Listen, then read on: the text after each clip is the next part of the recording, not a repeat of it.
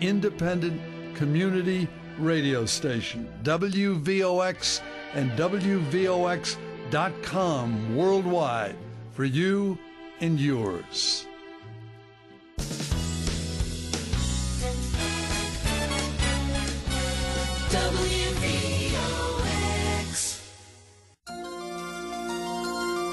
And now, Whitney Media 1460 WVOX presents Westchester Means Business with Marsha Gordon. Marsha Gordon is the president and CEO of the Business Council of Westchester. Now, here's Marsha Gordon. Good afternoon. Welcome to Westchester Means Business on this beautiful sunny Monday. Happy to be here to talk about business in Westchester County as we are each week at this time.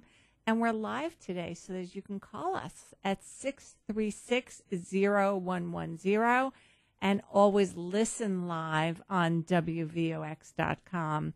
For those of you who listen every week, we're here talking about the opportunities for business in Westchester, how to build business, what's happening with business, uh, what are some of the challenges and how businesses have overcome challenges? And we know at the Business Council that building business is all about marketing your business and strengthening strengthening your business. And that's why I'm so pleased to have my guest today.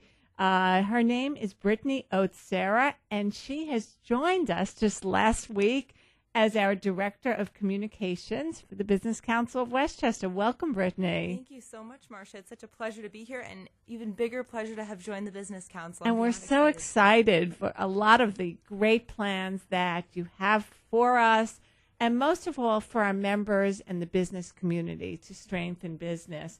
Um, Brittany is a noted social media expert and public relations strategist. I know you've had great experience in developing and executing winning marketing strategies for businesses and brands and you are a social media expert. So if you're listening and you're not following us on Facebook and Twitter and LinkedIn, be sure to, to follow us because there's already so many interesting tidbits that Brittany has shared with members and really creating new opportunities for the Business Council of Westchester and for the Westchester business community. So, a special welcome to you. Thank you very much. So, let's talk about your background, Brittany. Tell us what you did before joining us as our Director of, of Communications for the Business Council. Well, I kind of have a, a, mixed background. Some people might be surprised to know that I didn't actually start out in the PR and social media industry. I actually started out in news. That's what I went to college at Boston University for. I was a TV reporter, and wow. I worked for um, two different stations. I started out in White River Junction, Vermont, um, shuttling around my own camera, shooting, writing, reporting, editing my own stories, and then after that, I did the same thing in Brooklyn for News 12 down there. And you know, you see enough crime and you see enough uh, hardship, and you say, you know what? I think I'm going to step out of the news business and, and try to step into something where I can make a little bit more of a difference. And what did that look like for you to start making a difference? What is that? I wanted to go into the PR and social media end of things. Things were so excited, exciting and changing in that industry. And I said, you know what? If I can get in there and I can help businesses, companies, people, nonprofits market themselves, I can really help change things from the inside. And so that's what I did. And that's why we've uh, we're so pleased you've joined the team at the Business Council of Westchester. My guest today is Brittany Oat-Serra.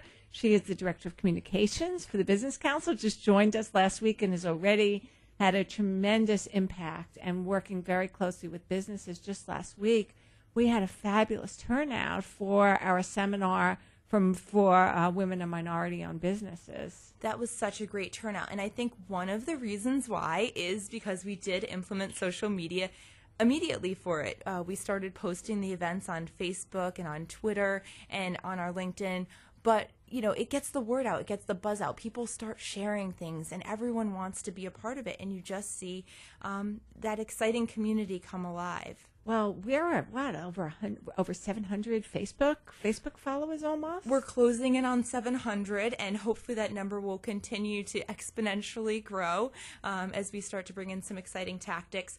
And Twitter has been growing with leaps and bounds as well. We're we're nearing 1,300 followers on Twitter, so it's wonderful. Wow. So uh, remember, if you're listening to us live, we're live today on WVOX. You can call us and meet Brittany and welcome her. You can call us at 636 0110. And remember, you can always listen live on WVOX.com.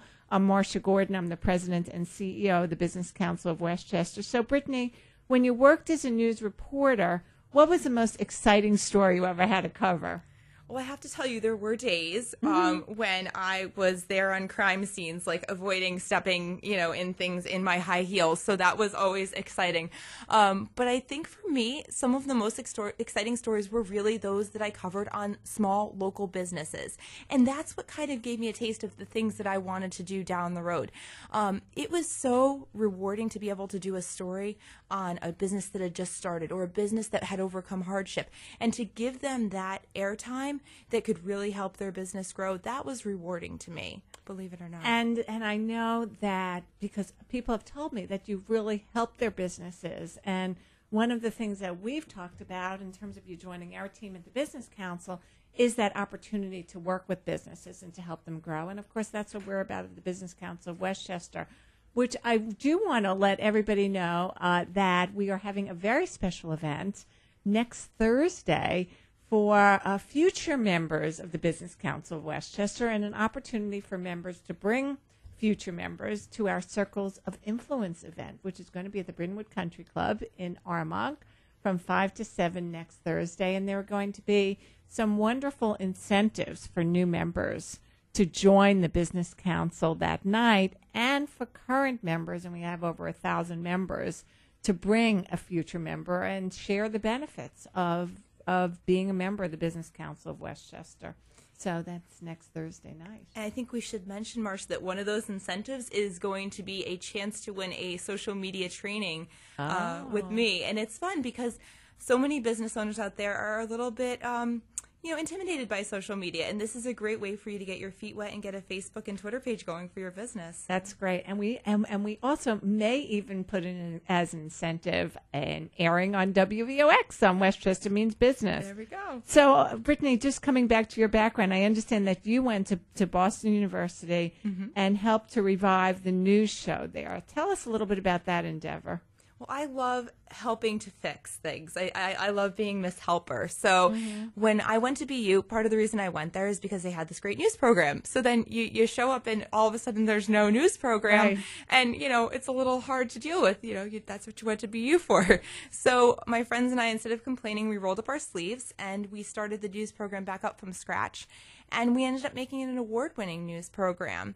Um, I was really, really proud that my senior year we won the Fox News Channel College Challenge, we got to be on Fox News for a story on eminent domain, which is such a hot button issue even still today, and and it was just so rewarding. And I'm glad to see the students there still carrying it on. You know, Brittany, I've seen you accept that award because I've seen it on YouTube. That's right. And it's it's really it, it's really something to that you should be very very proud of because you really did a lot of great research on on the topic and to be recognized by Fox News like that was absolutely thrilling. I was very Thank proud of you. you. It's one of the reasons that I wanted to hire you. Oh, thank you, so congrats so congratulations so so all of this experience in news media led you to pr and social media and let's talk a little bit about that pr background my guest today is on wvox westchester means business is brittany Oat-Serra. she is the brand new director of communications for the business council of westchester